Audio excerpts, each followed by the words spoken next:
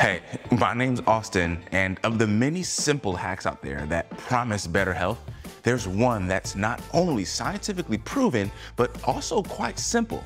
It's walking. In general, exercise at any given time of the day is good for you, but there's a growing body of research that suggests walking within a certain amount of time after each meal is beneficial to your metabolic health. If this is your first time hearing the phrase metabolic health, no worries. Put simply, metabolic health refers to your body's ability to generate and use energy at the cellular level.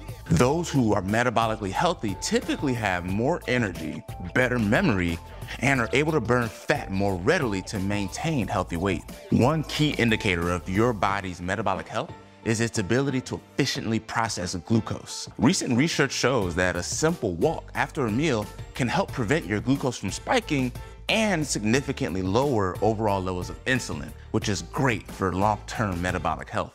The reason that walking clears glucose from your blood so well is because your muscles are glucose processing machines. In fact, exercise can boost glucose uptake by up to 50 times compared to when we're sedentary.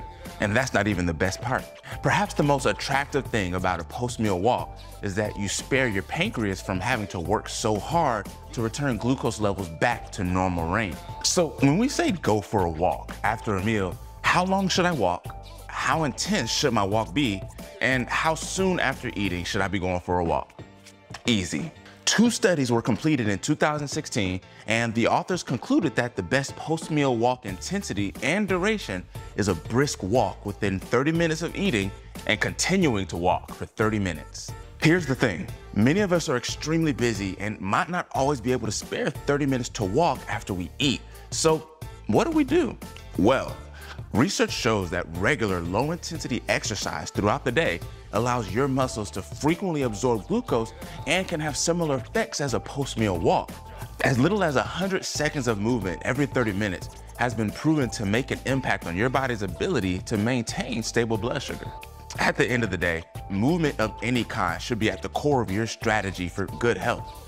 Whether you're walking after meals, squatting every 30 minutes, or dancing in the kitchen while you're eating your favorite meal, finding easy and fun ways to include movement in your life will have lasting benefits in your pursuit of optimal metabolic health. Thanks for watching.